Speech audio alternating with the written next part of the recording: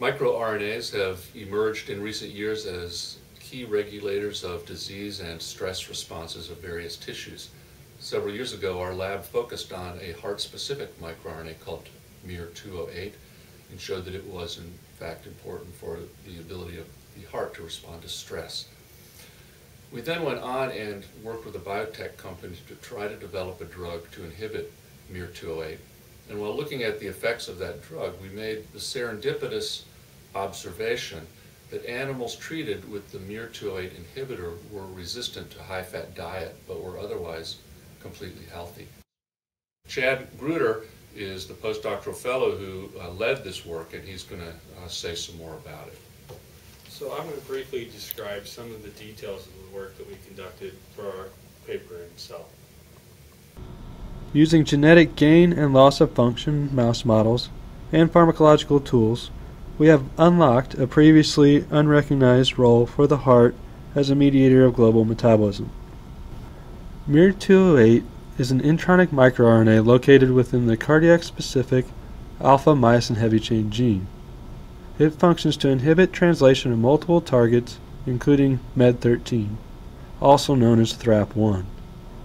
MED13 is a component of the large mediator complex. The mediator complex is a transcriptional hub that directly interacts with transcription factors to recruit and regulate RNA polymerase II dependent gene expression. MED13 generally functions to inhibit the core mediator dependent transcriptional process.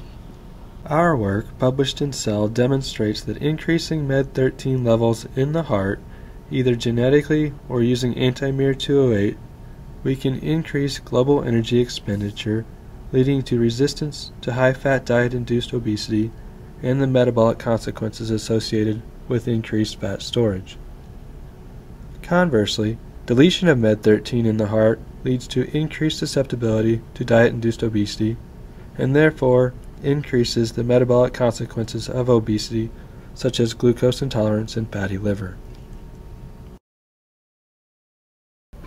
The heart is a major consumer of energy. The human heart beats approximately 100,000 times a day and it needs a constant supply of energy. Our work suggests the heart communicates with the body's energy storage to maintain its energy supply. Further work in the lab is focused on determining the signaling mechanism that controls this process. Obesity, uh, diabetes, coronary artery disease are obviously major causes of human morbidity and mortality.